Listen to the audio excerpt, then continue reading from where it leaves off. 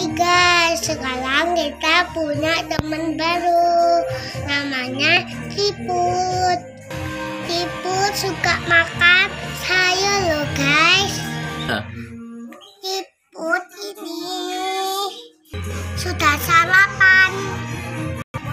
Sarapannya sayur sawi guys. Hmm, pasti lezat. Ayo Ciput, makan yang banyak ya biar cepat besar. Oke, Ci. Udah dulu ya guys ya, biar Ciput mandi dulu. Oke, nanti kalau sudah mandi Ciput kita ajak jalan-jalan. Dah guys, dadah. Jangan lupa subscribe video ini dan like video ini sebanyak-banyaknya ya guys ya. Dah.